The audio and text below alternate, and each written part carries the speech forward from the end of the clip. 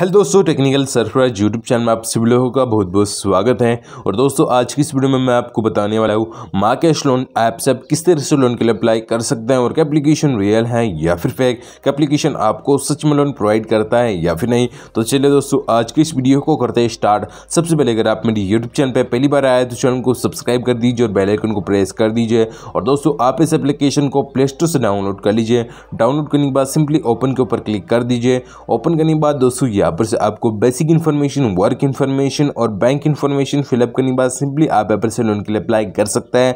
But दोस्तों, जैसे ही आप इस एप्लीकेशन के अंदर बैंक इन्फॉर्मेशन फिलअप करके सिंपली नेक्स्ट के ऊपर क्लिक करता है तो ये एप्लीकेशन आपको सिक्योरिटी फ़ी के थ्रू यहाँ पर से पैसा माँगता है। और दोस्तों, जो कोई भी एप्लीकेशन अगर आपको यहाँ पर से लोन देने से पहले पैसा माँगता है, वो एप्लीकेशन आपको कभी भी लोन प्रोवाइड नहीं करता। है दोस्तों एप्लीकेशन फेक है, आपको लोन प्रोवाइड नहीं करने वाला।